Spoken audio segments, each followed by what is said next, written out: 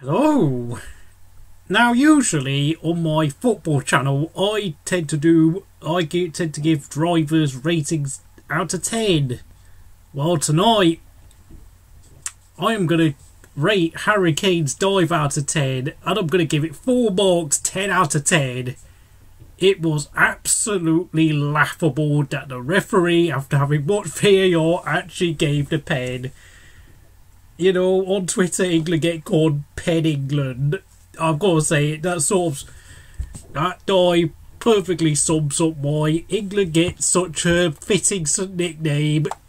Honestly, for the first 75 minutes, England were absolutely awful. Honestly, if we had lost that game, that would have been a very fitting defeat. And frankly, we stole a point tonight.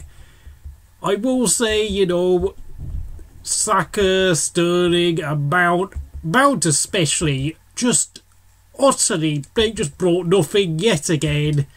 And Mason Mount, that guy is literally the modern day Frank Lampard. You know, he does well for Chelsea, but any every time you put an England shirt on him, he does absolutely nothing. He's just a cart horse. Every time I watch him play, he's just, you know,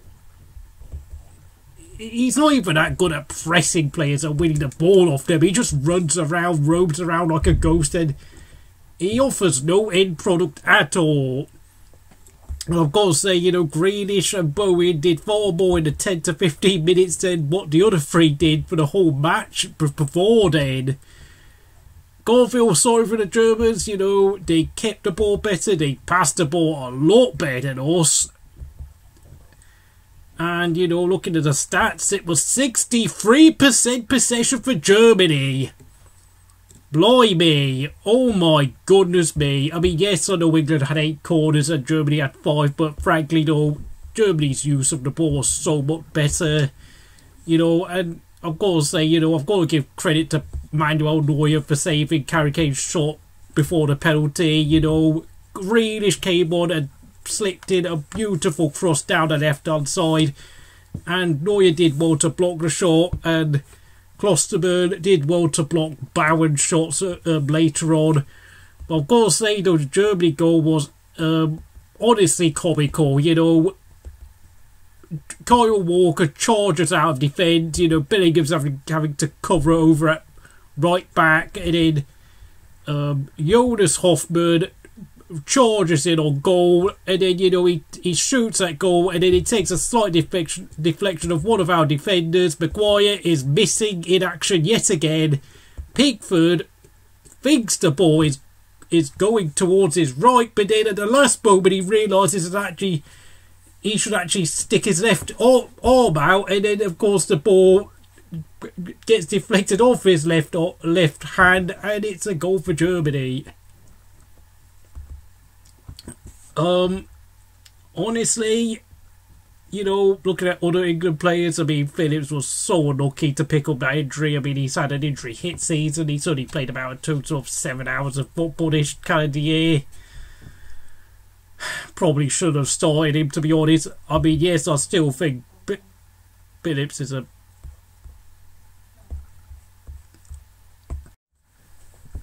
I still think Phillips is a a must-have starter, especially um, Southgate as manager. But really, though, I mean, I have to say, though, we're going to play Mason Mount. We, I might, as, we might as well have a midfield three of Rice, Phillips, and Bellingham because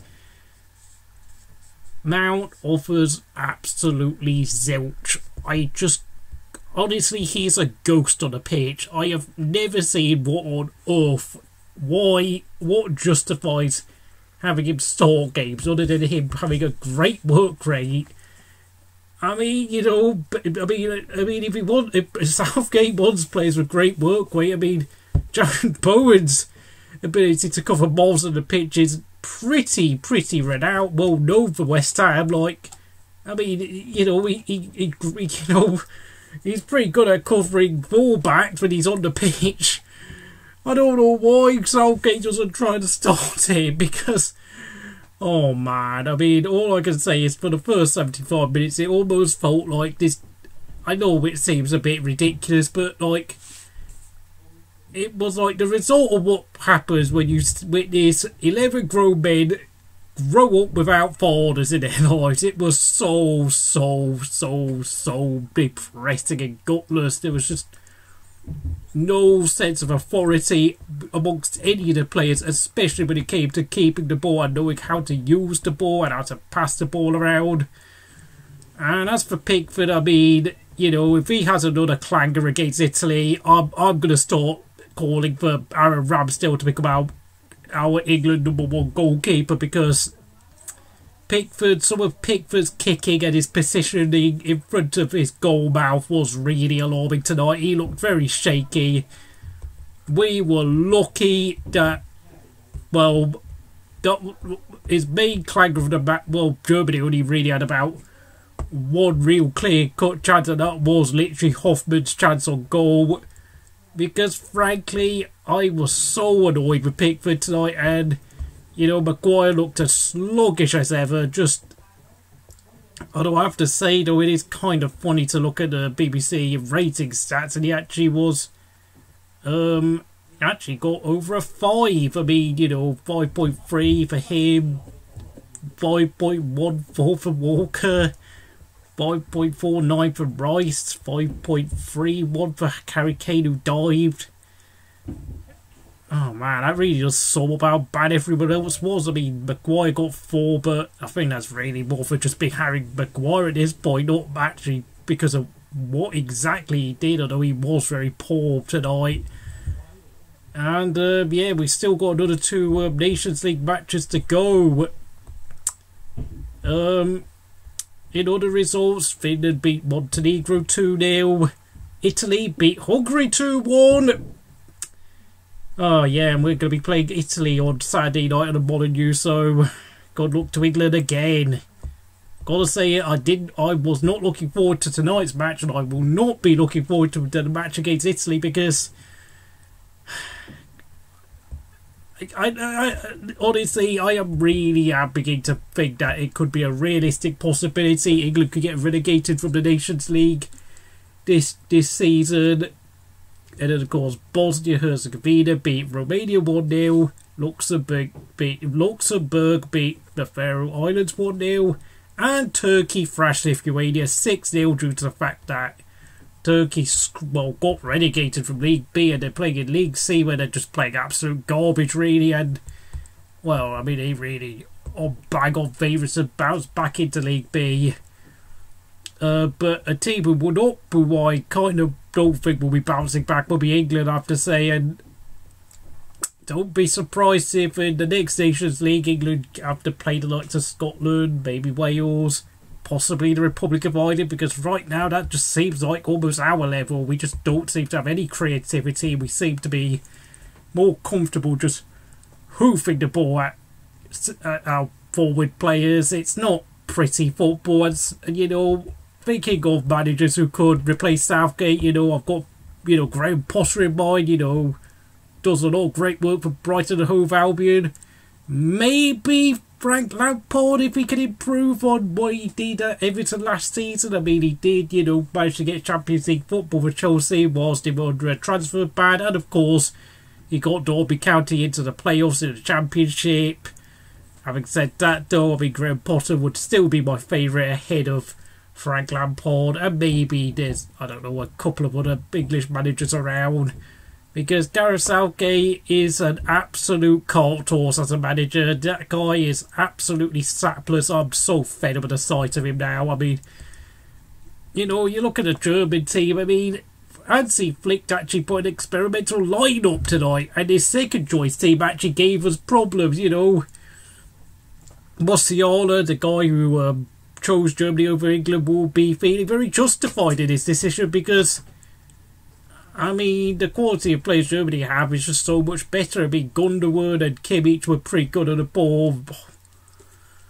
And, you know, Klostermann, Rudiger, Schlotterbeck were fairly solid.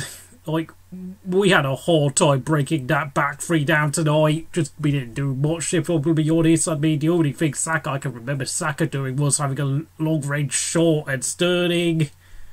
Um, he won a couple of corners, but, you know, apart from that, he just kept giving the ball away. John Stones, what did John Stones do? Can't remember. I never remember what John Stones does during a football match. Trippier, well, well, I mean, we all know Kieran Trippier's only there mostly because of his ability from corners and free kicks. And as for Kyle Walker, when he did his usual job of just sprinting up and down the pitch, coming to cover for the two cult horses, Stones and Maguire, So, um, I am going to check to see what other games um, England do have. Um, um, and um, yeah, on um, Saturday night, yeah, we're playing Italy, and of course on Tuesday night we will be playing at home again to Hungary. Um, and in the other Nations League games, um, I will be checking now.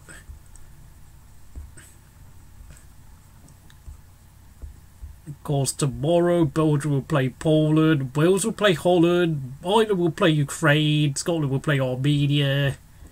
Thursday night, Greece will play Cyprus, Kosovo versus Northern Ireland. Northern Ireland are still looking to win a game. Gibraltar will play Bulgaria, North Macedonia will play Georgia, Malta will play Estonia, Portugal will play the Czech Republic, Switzerland will play Spain.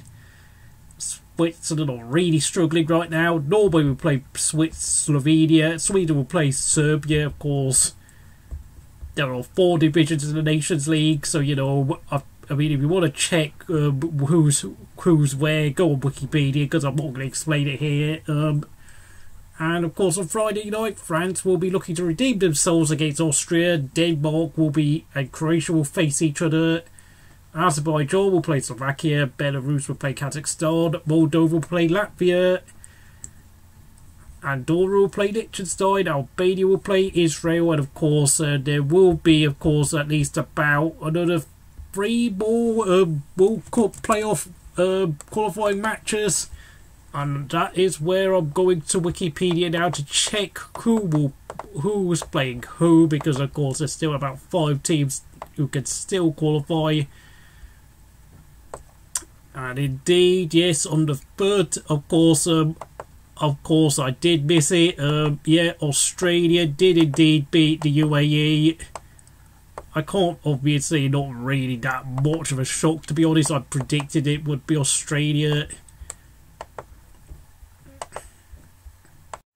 Of course, um, having played the game earlier today, I didn't see it because I don't have TV access. Of course, Australia managed to beat the United Arab Emirates 2 1 in Qatar, since, of course, um, under COVID, uh, the pandemic conditions, they can't play. I mean, frankly, I mean, they can't really do home and away games right now. Um, Jackson Irvine and uh, Ajin scored the two goals for for the UAE. Was of course Caio. UAE's Brazilian player scored the other goal, of course, and of course that means that Australia will be playing uh, Peru next Tuesday in for a place in the World Cup was of course their neighbours New Zealand will be playing Costa Rica next Tuesday. No sorry but Australia will play Peru next Monday I beg your pardon was Costa Rica will play New Zealand next Tuesday for a place in the World Cup. And you know good luck to both of them as well as Peru and Costa Rica since of course I don't support any of those nations it's going to be a tight and tense affair, and of course, both games will play in Qatar due to, of course, the pandemic, meaning that, frankly, it's far better just to get it done and over with in one game freely. And that's it. Thank you for watching.